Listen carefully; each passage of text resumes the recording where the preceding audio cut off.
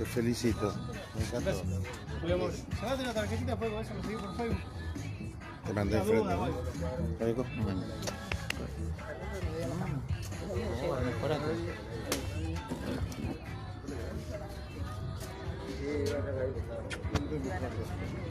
Hasta luego. Chao, hasta luego.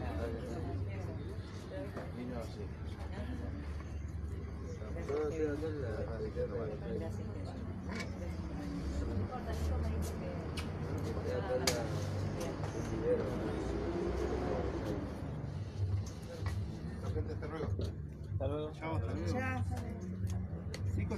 Sí, señor.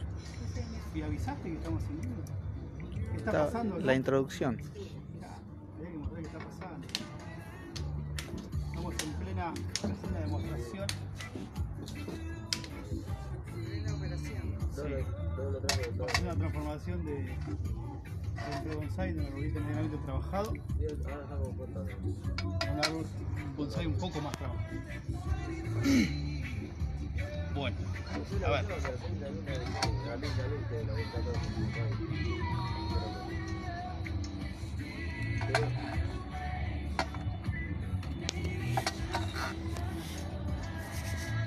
Casi salís corriendo, ¿eh? Los reflejos no fallan.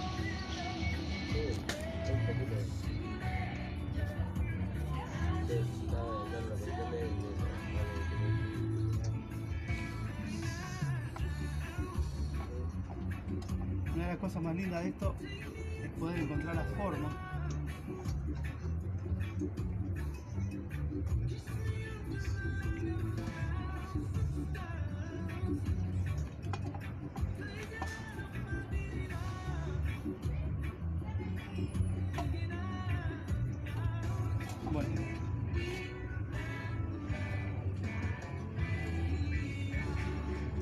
Muchas veces suele ser de gran ayuda dibujarlo antes, antes de empezar a trabajarlo, para saber que uno ahí tiene algo en la ¿Qué es lo que cabeza y poder verlo, claro. Por ahí resulta más fácil copiarlo que sacarlo directamente de la cabeza. Ahí para darlo. Sí, me gustaría más. No importa, no importa.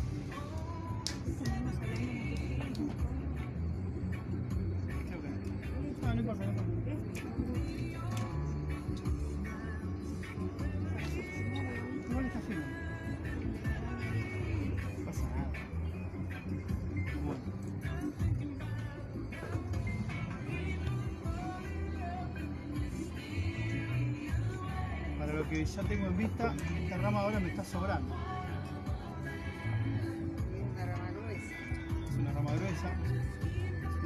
Servir muy bien para hacer un jean. Para hacer un. Un jean que lo dije hoy que es una rama, una rama seca, una rama muerta. Tiene otra que está seca. Esa que no está, que está muy grueso. Bueno.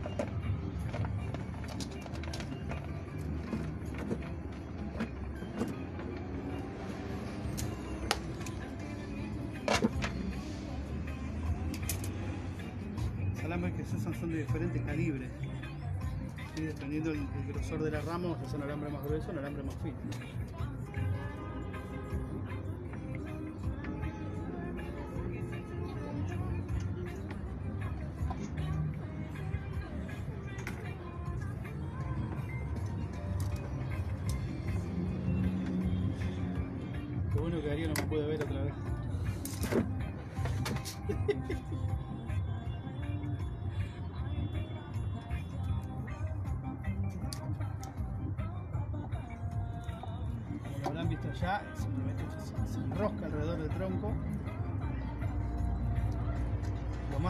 Posible del tronco, pero sin que esté totalmente pegado para que no lo estrangule a medida que vaya creciendo.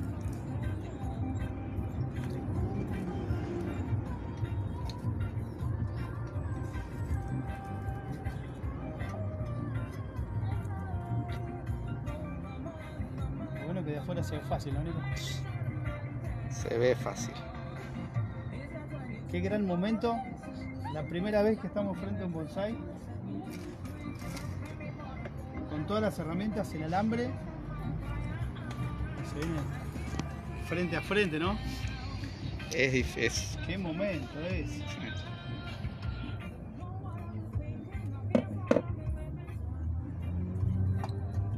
Cuando se hace esto, hay que asegurarse de doblar el alambre, no la rama. Sí, por lo que tiene que agarrar forma es el alambre. La rama lo va a seguir al alambre. Alcanza con uno, se pueden poner más. ¿Me estás viendo en vivo?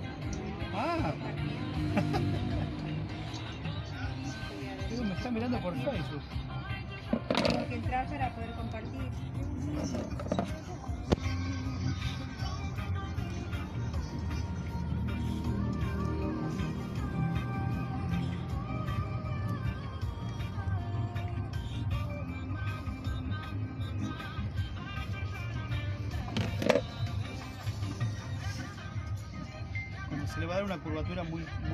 Grande, muy fuerte, que no es este el caso, suele cubrirse el, el- tronco, las ramas con rafia.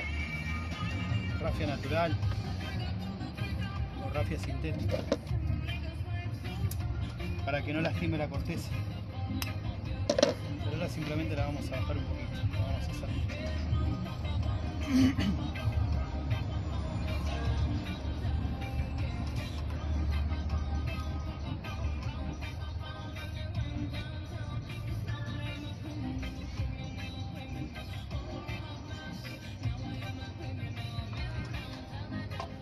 Por fin ves laburando. Hablando en arbolito.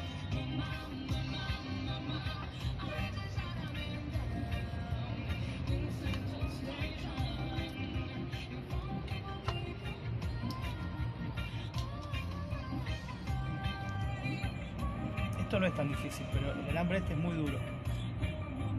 Muy grueso. Pero la única forma de que mantenga la rama en su lugar es que sea grueso. No, no va a funcionar.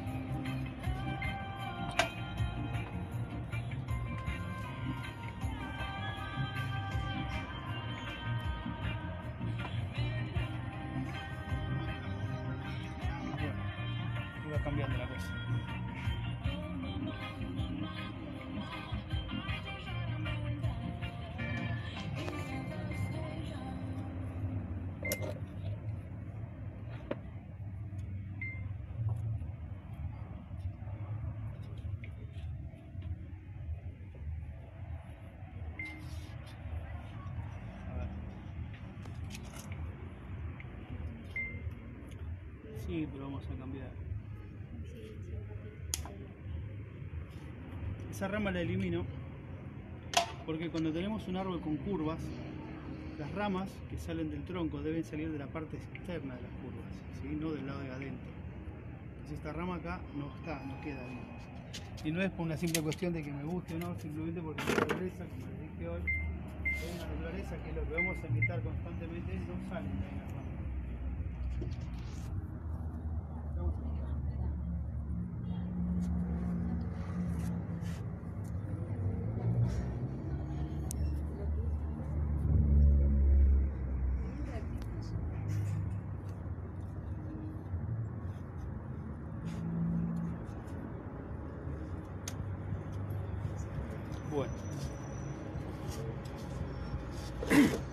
En algunas ocasiones lleva mucho tiempo, dependiendo del material con el que vamos a trabajar. A veces tiene muchas ramas, a veces es muy grande.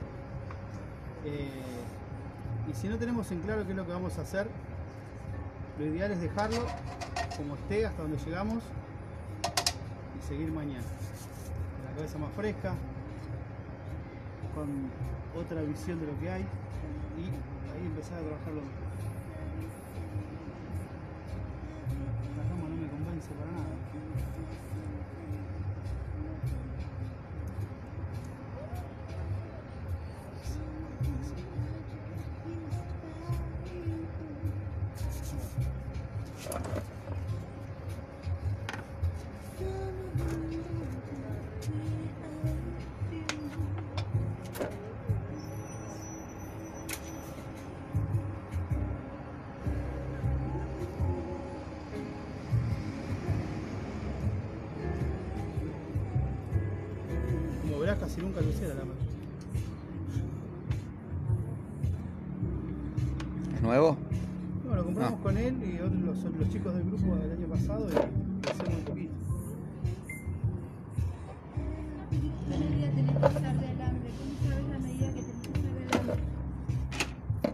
Vos lo sabes? No, decirle a la gente. Es para que le cuentes. Eh, qué buena pregunta. ¿Viste? Sí. Estoy aprendiendo. Lo ideal, el alambre, el calibre del alambre ideal es un tercio del grosor de la rama. Para hacerlo más fácil. Si tenemos una rama de un centímetro, el alambre tendría que tener 3 milímetros. ¿Sí? En la tercera parte. Estaba Claudia también mirando. Estamos con las manos ocupadas. Está muy bien.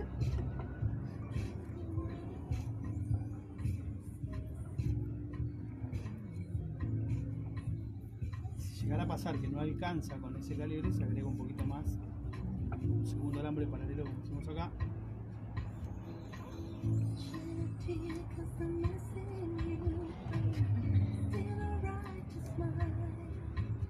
¿Cuánto tiempo lo tenés que dejar enlazado así? Eh, no me gustó el enlazado. Suena, suena que le estamos haciendo daño y no le estamos haciendo nada. Eh, con esta especie, hoy les había comentado acá la gente, con esta especie y en este diámetro de ramas de 5 meses aproximadamente. Sí. Claro, esto lo que tiene es que en realidad el tiempo que hay que dejarlo es el tiempo que tarda en lignificar esta madera. ¿sí? Pero si lo estamos haciendo ahora, lo más probable es que lo saquemos recién la primavera del año que viene, porque va a lignificar en otoño. Entonces va a llevar un tiempo. Esto es un proceso largo. El bonsai, como les dije hoy, lleva tiempo. Por eso en muchos casos, cuanto más viejos son, más caros valen. Por eso es una cuestión de paciencia. Eh,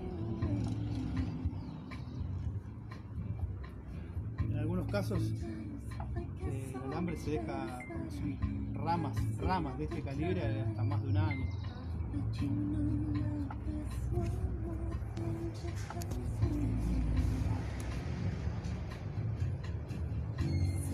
Siempre teniendo en cuenta, no, digamos, no es tan importante el tiempo que esté puesto ahí el alambre, sino cuidarlos que no se claven, que eso es más importante. De que no se que no estrangule el árbol. ¿Sí? Porque nosotros ponemos el alambre y mágicamente nos queda, como si el árbol va a seguir creciendo. Entonces, cuanto más crece, más se engorda, más se engorda, más hay más probabilidades hay que se clave. Entonces hay que cuidar eso. Si vemos que se está clavando, hay que sacarlo automáticamente, o aflojarlo, sacarlo y volver a alambrar si no queda seco.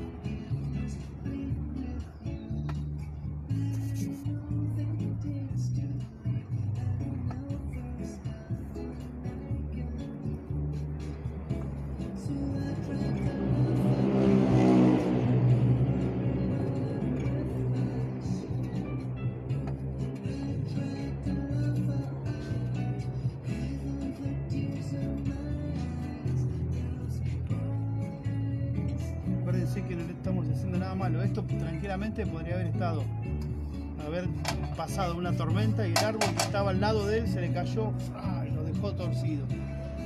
Y así va a crecer. Por eso hay muchos árboles de naturaleza que están torcidos, retorcidos, enroscados. Siempre hay que ver el lugar donde crecieron para tener la forma que tienen. Si estaba, era un lugar que estaba castigado por tormentas, si hay- inundaciones, si, hay, si la erosión le sacaba la, la tierra y quedaban las raíces a la vista. ¿sí? Entonces, como les dije hoy, el árbol está preparado para cualquier cosa que le pase arriba. Que para el caso lo único que estamos haciendo es ponerlo en otra posición las ramas, nada más. No, porque a veces se toma una maceta, la rama que estaba así. Siempre va a tender ahí para arriba el árbol, Claro. siempre va a querer irse para arriba. Una vez que nosotros posicionamos las ramas, ¿sí?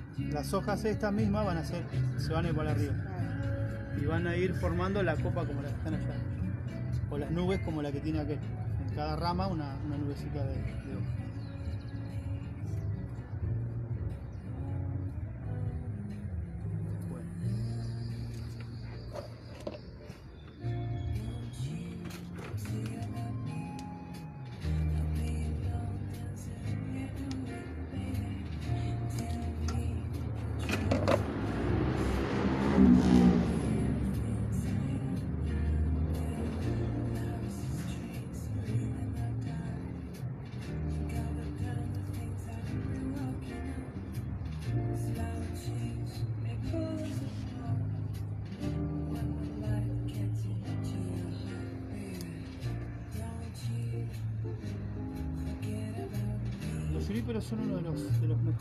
Empezar a practicar esto porque son difíciles de que hagan crack. Cuando el árbol hace crack es feo, ¿no? Los caducos, que a veces no son tan flexibles como estos, a veces eh, pasa de que nos pasamos de vuelta con la, doblada y crack hace la rama. Ay, de feo cuando pasa eso. Igual no pasa nada generalmente. Si, no fue mucha la quebradura, con solamente encintarlo o volverlo a su posición y dejarlo que quede pegado de vuelta, se vuelve a soldar. Igual escuchar el crack no es nada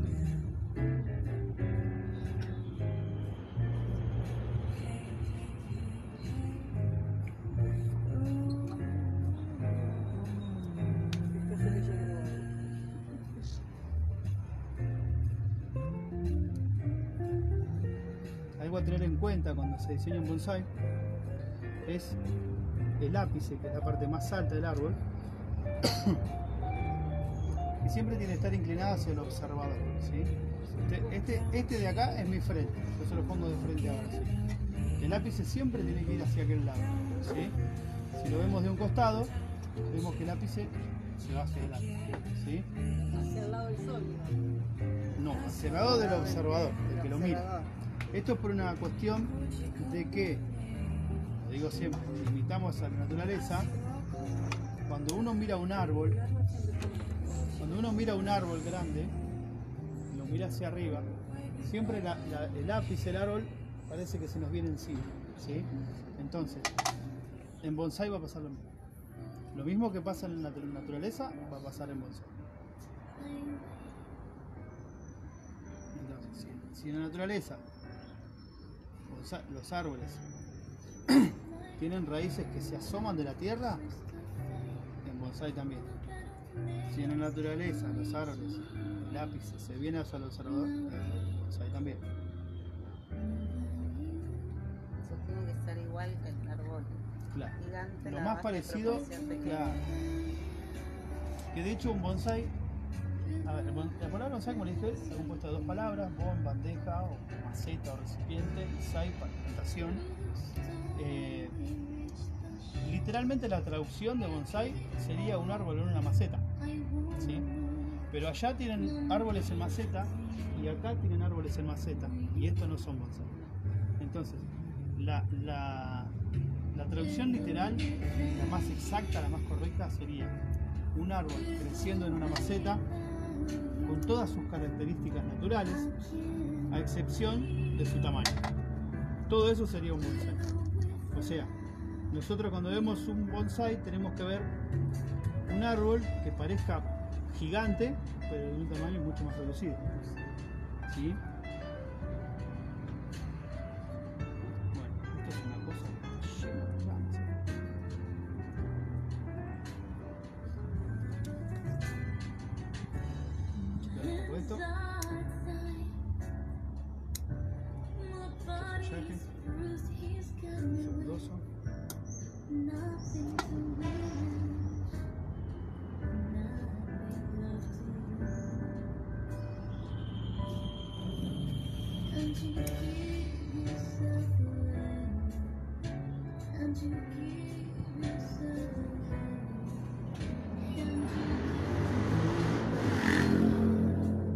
Ningún árbol de la naturaleza tira ramas hacia abajo.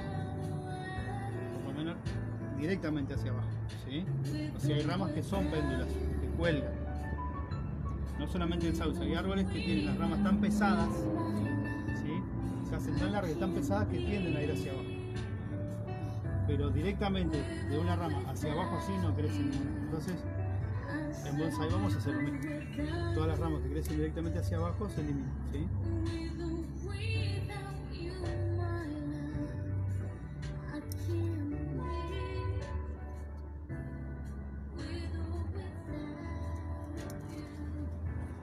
como esta. ¿Ven que esta rama crece hacia abajo? Esta rama no sirve, a menos que la pueda reubicar.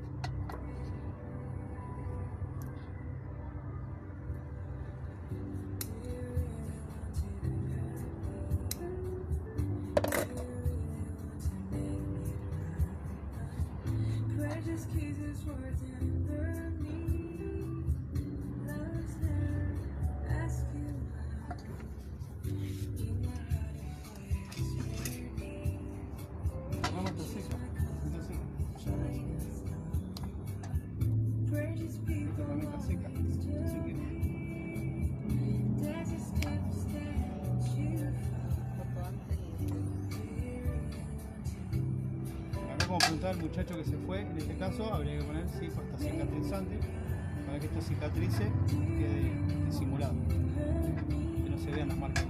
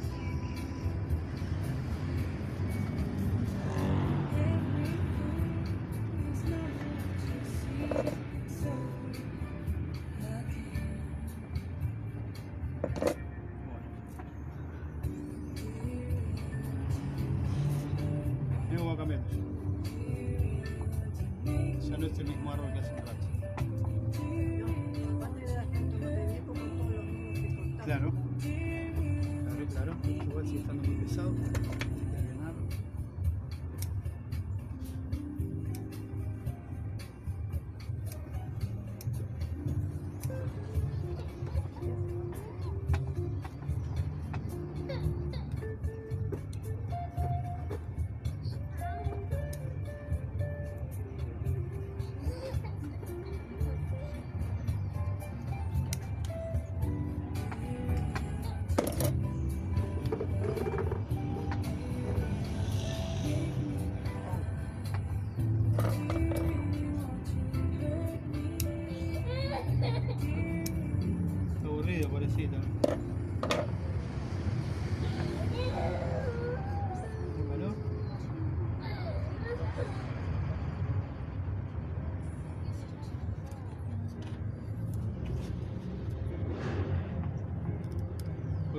Diferentes tipos de podas, por ejemplo, estos, este especie se poda con los dedos. Porque salen como escamas. Esto se poda así. Si yo corto esta hoja finita con la tijera, quedan las puntas todas marrones.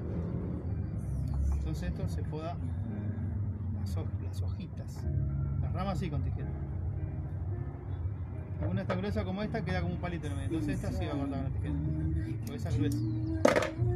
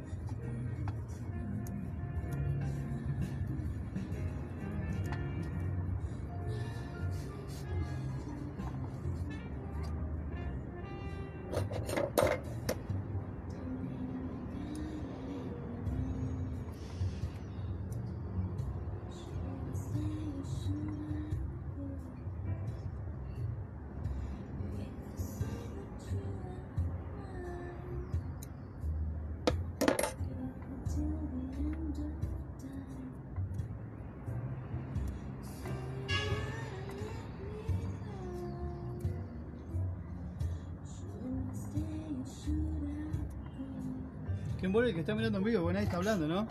Mirando de, de a dos, de a dos ojos. De a dos ojos, ¿no? Sí. Enfocando bien y mirando lo que estás haciendo.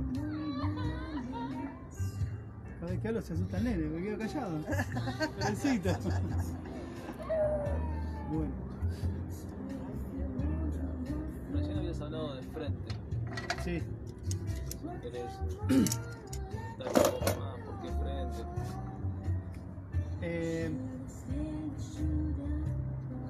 ¿Por qué hace pregunta difícil? No, el tema es así. Eh, siempre el frente del árbol va a ser el punto de vista que tenemos en cuanto al diseño que nos permita ver mejor tanto la línea del tronco como la disposición de las ramas. Y un detalle a tener en cuenta que es muy importante, que he visto mucha gente que sabe sobre el tema, no voy a dar nombres lógicamente, pero mucha gente de- del ambiente, del mundo del bonsai, gente famosa en el ambiente, que, no tiene en cuenta esas cosas, la verdad que no las tiene en cuenta y no está bueno que no las, no tenga- las tenga en cuenta. Eh, el lápiz es una de las cosas fundamentales en cuanto a diseño. Está seco. Secos. Eh, El lápiz es una de las cosas fundamentales que en cuanto a diseño, como les decía, siempre tiene que ir hacia el observador. ¿sí? El resto, con respecto al frente, y de recién, es lo que mejor nos, nos deje ver el árbol. Por el momento este árbol, por el momento, hasta ahí llegamos. Ahora hay que dejarlo que vuelva a brotar y de a poco se van a ir formando las ramas, nuevos hierbas, ¿sí? Es un proceso largo, Después por Facebook le seguimos los pasos. sí, cómo no. O puede llevarse alguno y empezar a practicar usted también. Eso también está buena esa opción. Eh, no hay que tener miedo del bonsai, el bonsai es para, la gente común también, no es solamente para, para, para, los que pueden para los que quieren. Esto lo puede hacer cualquiera. El curso, por ejemplo, no es muy largo, son seis meses. eh, donde las técnicas, como le dije hoy, son varias técnicas de poda que se aplican en diferentes épocas del año. Las van a aprender todas. Como, como salida laboral, aprender esto y si tienen lugar, eh, en, digamos, espacios físicos y poder invertir en esto, tiene salida laboral. Depende de mucho espacio físico. Sé que esto no se puede apilar, no es como el que vende cajas, Claro. que apila cajas. Si tiene espacio físico y, y bueno, y darles a, a los árboles eh, un bienestar en, en cuanto a, a clima, ¿sí? a, humedad, si necesitan un, invernadero, tener lugar para un invernadero, o sea, para- para- como algo laboral necesitan mucho. Pero por hobby, para tener en su casa, eh, para tener para ustedes pueden tener lo que les dé el lugar también, lo mismo, pueden tener 10, 15, 20. Eh, la cantidad también va a depender del tamaño de los- del bonsai que tengan. Eh, si tienen árboles grandes como aquel, van a tener 3, cuando más chiquitos pueden tener 10. Eso va a depender mucho de uno mismo. El bonsai es muy personal, ¿sí? es muy de uno mismo. Esto es como el que pinta un cuadro o el que saca una foto. Pinta un cuadro eh, lo hace a su manera. Pinta el cuadro como le gusta, como quiere, como se le antoja. Bueno, esto es igual. Uno le da forma, eh, depende de sus conocimientos, depende de, de lo que quiera lograr, depende del efecto que quiera hacer. Y la diferencia más grande que hay entre una foto, un cuadro y un bonsai es que nosotros trabajamos con material vivo ¿sí? y en tres dimensiones. Lo de la- las tres dimensiones es una de las cosas que veíamos recién que decía Fernando sobre el frente, que nosotros no trabajamos sobre un plano, no tenemos un arbolito, un tronco y todas ramas laterales, no trabajamos sobre algo plano, trabajamos en todas direcciones. ¿sí? Eh, ¿Qué tiene de especial la maceta para los bonsai?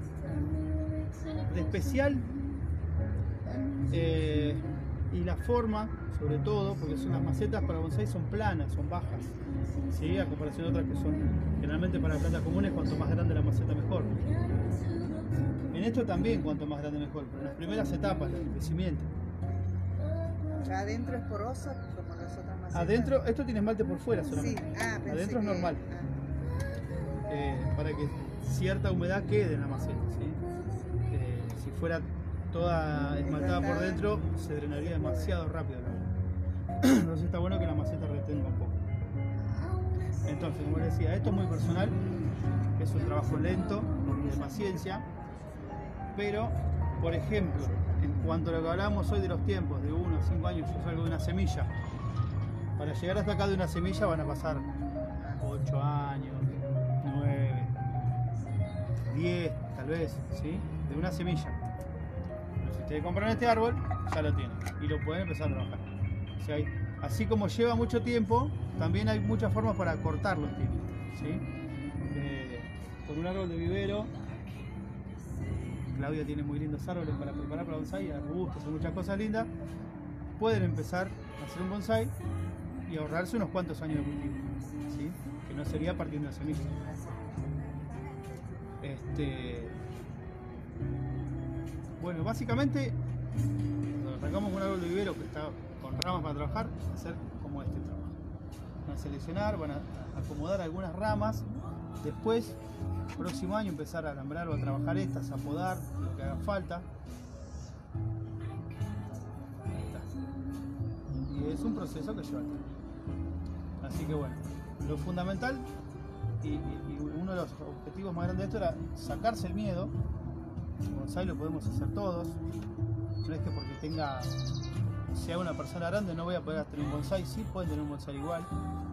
Eh, no hay misterio, como les dije, las técnicas, si alguno puede y tiene ganas de seguir aprendiendo más, bueno, está la escuelita, si no, hay técnicas que se van aprendiendo con el tiempo, Eh, pero no es difícil, esto no es difícil y no es algo que lleve mucho, mucho tiempo, ¿sí? Lo pueden lograr. Esto en el futuro, yo lo puse así, ¿por qué lo puse así? Así otra cosa que es totalmente diferente.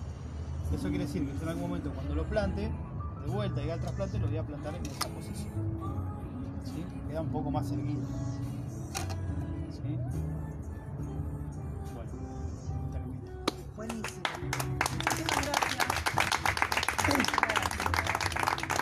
Un ratito, eh, un ratito tenemos un par de